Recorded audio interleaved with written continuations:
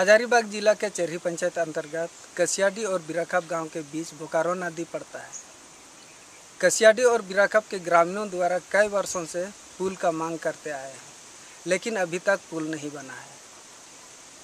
मैं चुनू हंसदा और ये मेरा समुदाय। है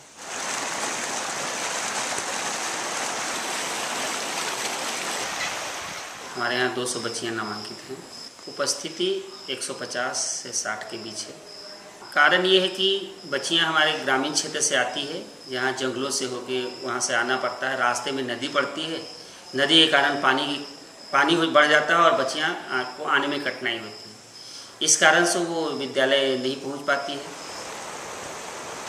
देखते हैं कि हर साल जब हम लोग स्कूल जाते हैं तो नदी भरा होता है। जब हम लोग स्कूल जाते हैं, स्कूल के आने के समय नदी भर जाता है तो हम लोग को बहुत दिक्कत होता है घर जाने के लिए। तो बहुत कोई बीमार भी होती है तो फिर हम लोग को तकलीफ़ भी होता है कि हम लोग को सही टाइम पे हम लोग को दवाई घर नहीं जा पहुँचते हैं तो कभी कभी किसी का मौत भी हो सकता है। तो इसकी वजह से हम लोग को बहुत तकलीफ़ होता है। तो हम लोग सोचते हैं कि यहाँ पे एक हम लोग के लिए पुल बनाया जाए ताकि हम लोग आने जाने में हम लोग को सुविधा हो, हम लोग को कोई परेशानी ना हो। अभी यही रूट है। इसी रास्ता से आना जाना होता है हम लोग का।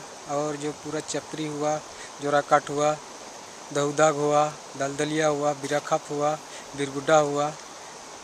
यही है हम लोग का मेन रूट इसी से सब लोग, हम लोग रोज़गार के लिए भी जाते हैं।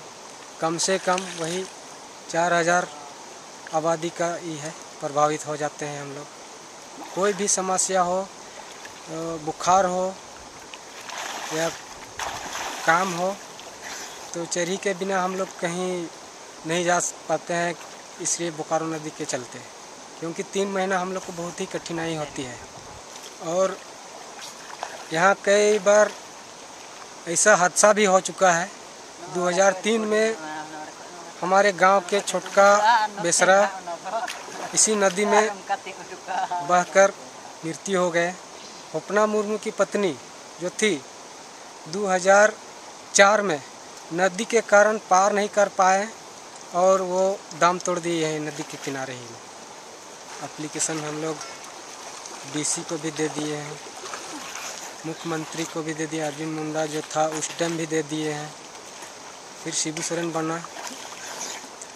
उसके बाद भी उसको भी दिए लेकिन अभी तक केवल आश्वासन मिलता है। सर्वे हो चुकी है, लेकिन आश्वासन मिलता है कि पुल आप लोग का नदी में बन जाएगा।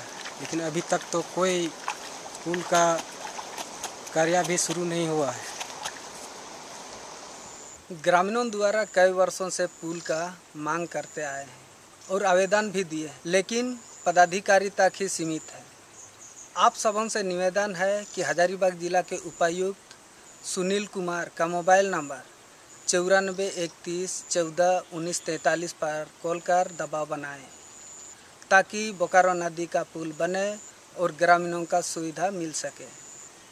मैं चुनू हंसदा, हजारीबाग, झारखंड से इंडिया अनहर्ट के लिए।